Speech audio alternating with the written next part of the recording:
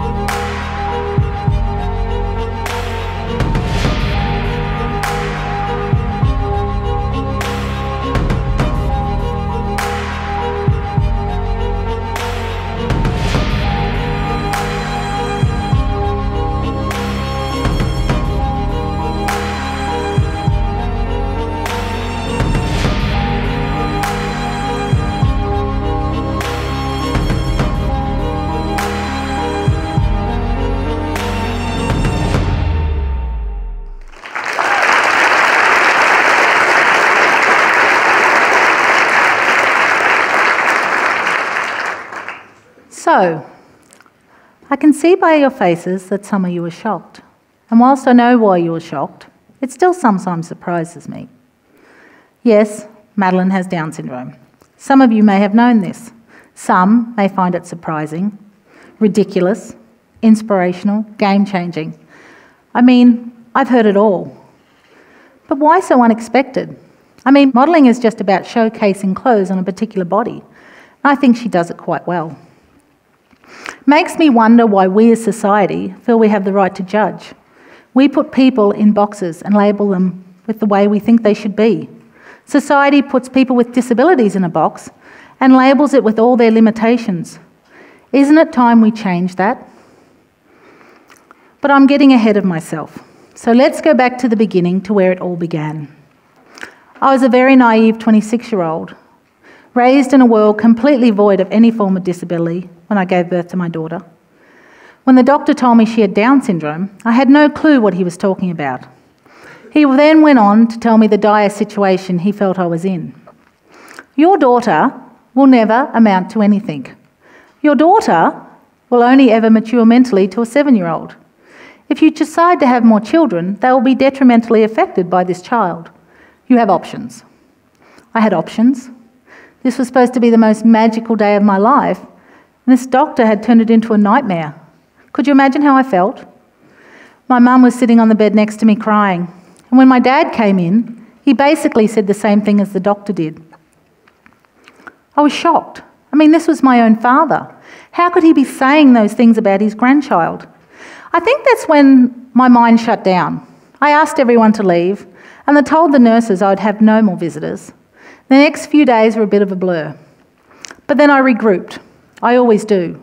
I mean, my baby girl needed me, and there was no way I was going to let her down. So the first thing I needed to do was to educate myself, and that is what I did. So, yes, Madeline has Down syndrome, trisomy 21 to be exact.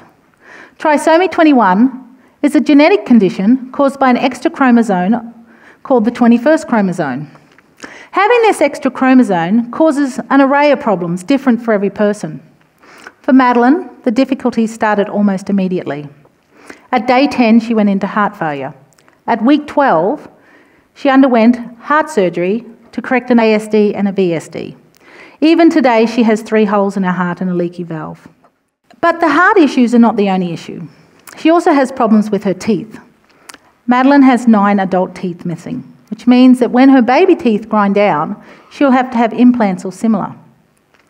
To slow this process, they have a clear resin attached to them so they don't grind away as quickly.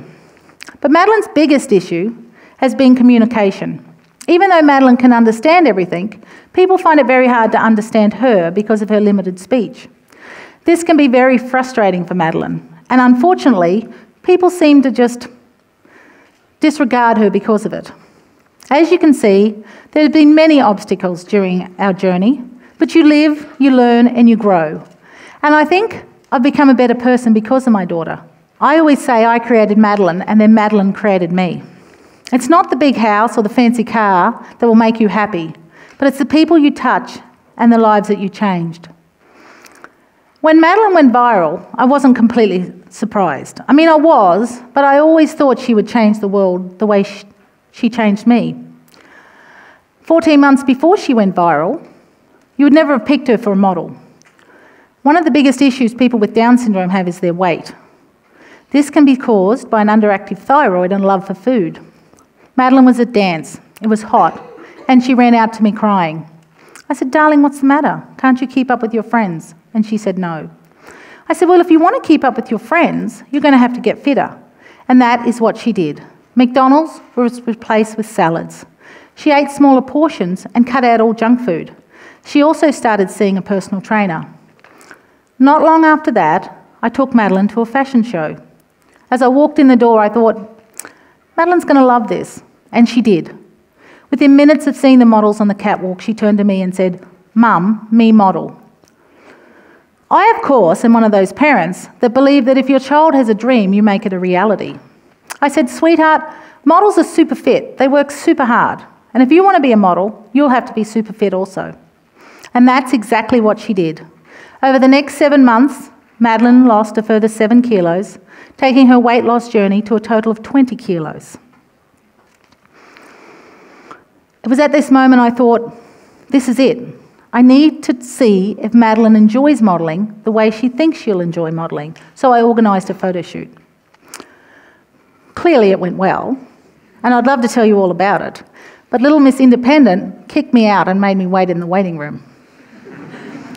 A week later, they gave me the call. I had to come in and see the photos, and I was floored.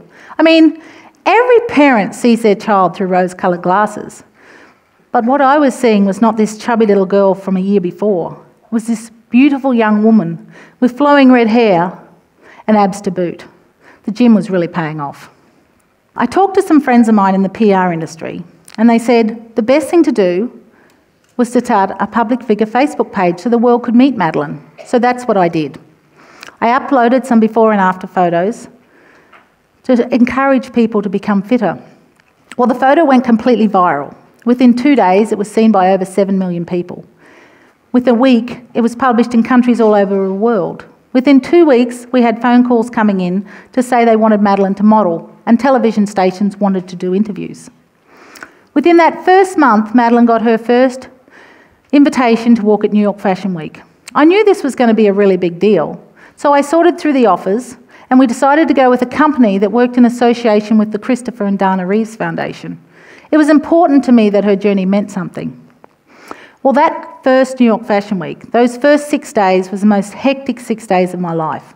We did 33 interviews in three days. Not to mention the rehearsals, the fittings, the catwalks, the after parties. By Christmas, Madeline was booked solid for the following year. But even though she was doing so well, I was still worried for a long time that Madeline would be a two second internet sensation. That Down syndrome was just the next phase. But I can safely say she's here to stay. There has never been a time in history that advocacy has been so prevalent. And we are so proud to advocate for that. I am so proud of the professional my daughter has become.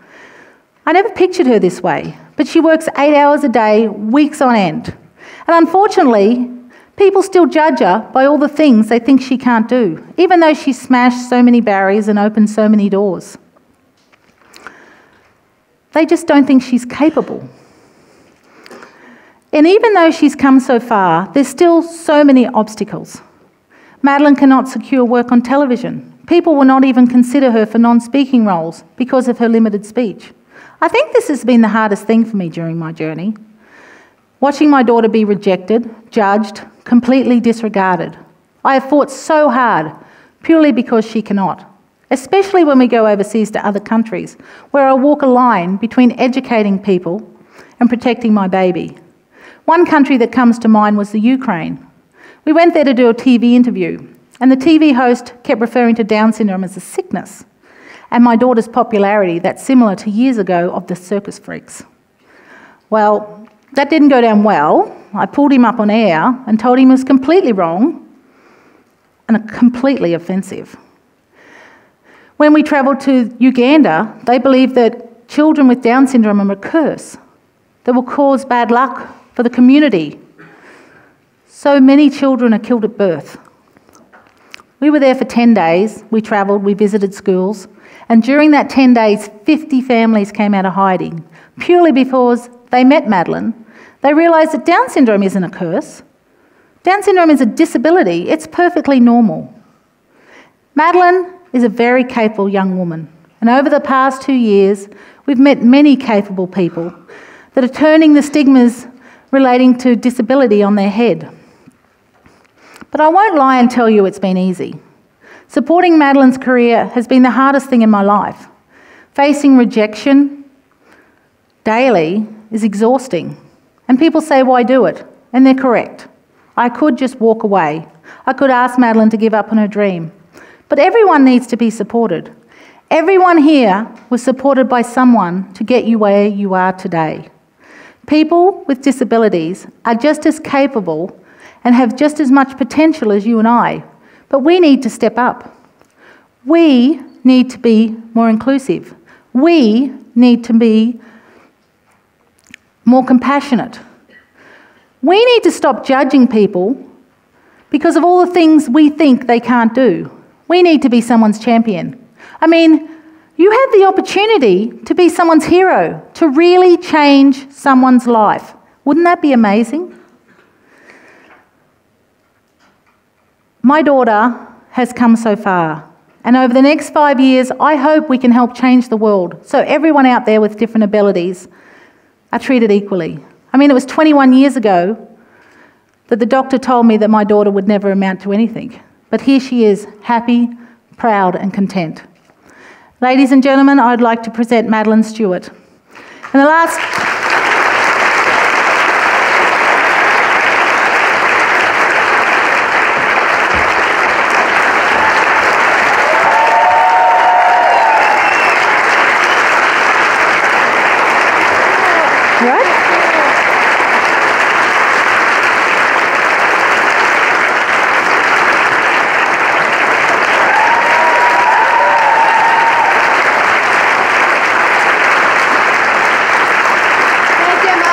Thank you, darling.